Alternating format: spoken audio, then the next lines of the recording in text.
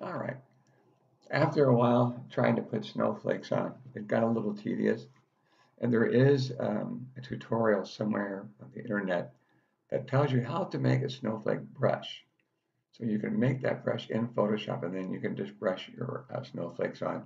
I believe you can do the same thing with anything like stars or something like that. So, um, but what I did after a while of trying this many times and getting frustrated, I just uh, decided to get some from the internet. So I put a few on, but I'm going to go ahead and open another image that I got off the internet. And you're going to see that it doesn't match in several ways. But by using blending modes and using transform, I can change it. So I'm just going to go ahead and drag it over right now.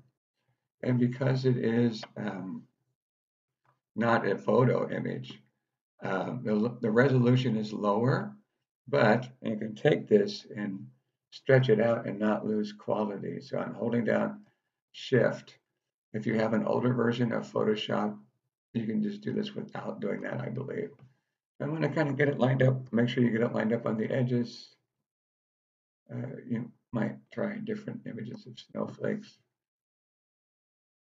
Okay, now I'm going to commit to that. But of course, now you, you, it's too dark and I can't see the trees anymore, and I want to see those trees. So now I have to go to the blending modes, and I'm going to start with dissolve. And just once I select one, the um, box turns blue. Put your mouse pointer in there and just rotate the wheel. And what I found with this one is that uh, Lighten produces a nice result. As you can see now, though, I do have some ridiculously large snowflakes uh, behind Baby Yoda and behind the tree.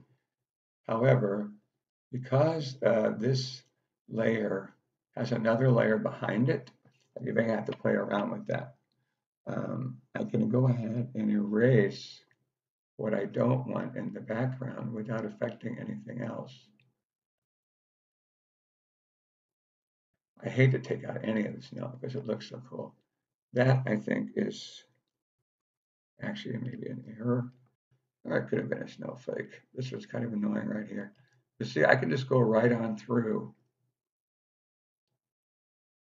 Because um, my eraser tool is behind him or underneath him, I can do this.